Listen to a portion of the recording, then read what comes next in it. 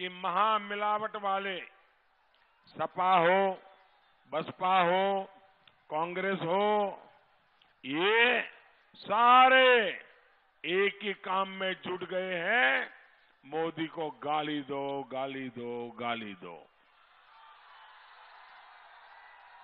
ऐसा कोई दिन नहीं है जब मोदी के लिए उनके मुँह से गाली नहीं निकलती है।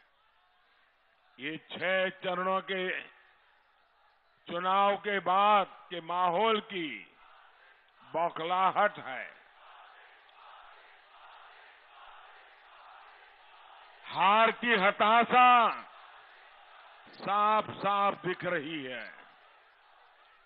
भाई और बहनों, मैं इनकी गालियों को उपहार मानता हूँ।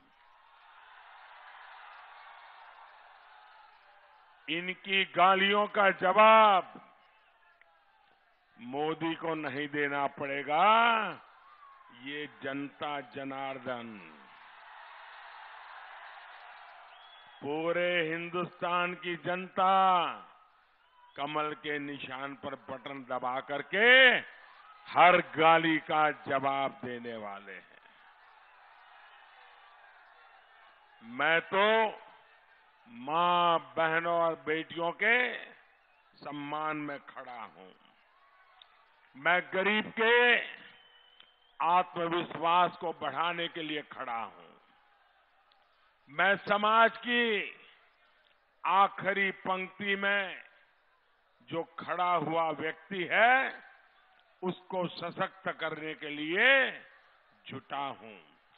भाई और बहनों इसी हताशा में अब ये महामिलावटी लोग पूछ रहे हैं कि मोदी की जाति क्या है।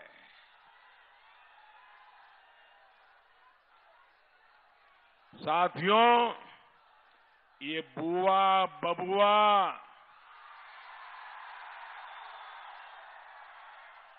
दोनों मिलकर जितने साल मुख्यमंत्री नहीं रहे, उससे कहीं ज़्यादा समय मैं गुजरात का सीएम रहा हूँ। मैंने अनेक चुनाव लड़े भी हैं और लड़ाए भी है। लेकिन कभी अपनी जाति का सहारा नहीं लिया। मैं पैदा भले ही अति पिछड़ी जाति में हुआ हूँ, लेकिन मेरा लक्ष्य हमारे इस हिंदुस्तान को दुनिया में अगड़ा बनाने का मेरा लक्ष्य है।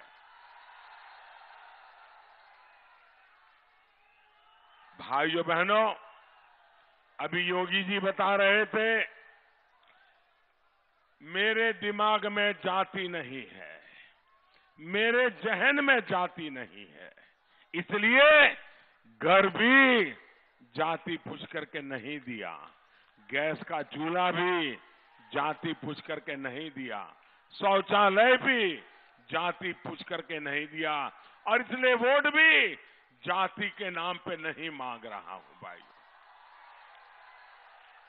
न देता जाति के नाम पर हो, न लेता जाति के नाम पर हो। मुझे तो मेरे देश के लिए जीना है, देश के लिए कुछ करना है, इसलिए वोट भी देश के लिए माँगता हूँ। भाइयों और बहनों, भाइयों बहनों ये मेरे दिल की आवाज़ है। ये मेरे दिल की आवाज़ है जो आज मैं बलिया में आपसे कहना चाहता हूँ।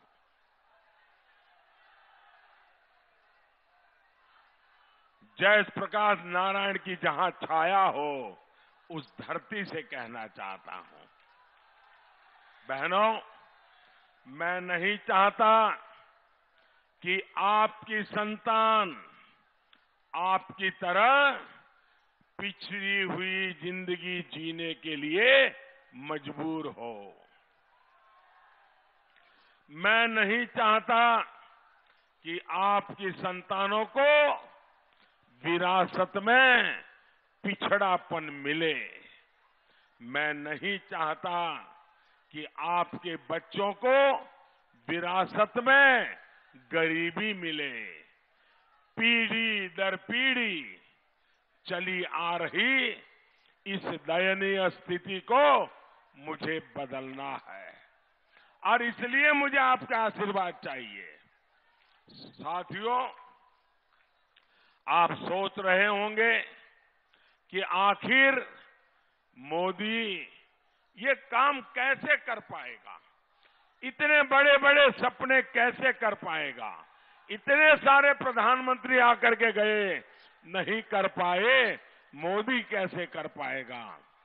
भाइयों बहनों, मैं ये काम इसलिए कर पाऊँगा क्योंकि मैं आपके बीच में से निकल करके आया हूँ। मैंने गरीबी को पिछड़ेपन को भुगता है। जो दर्द आप आज सह रहे हैं, वो मैंने खुद से सहा है। मैं, मेरा पिछड़ापन मेरी गरीबी दूर करने नहीं, आपके लिए जीता हूँ। आपके लिए जूझता हूँ। इसलिए मुझे विश्वास है कि इस परिस्थिति को बदलने में हम सफल होंगे।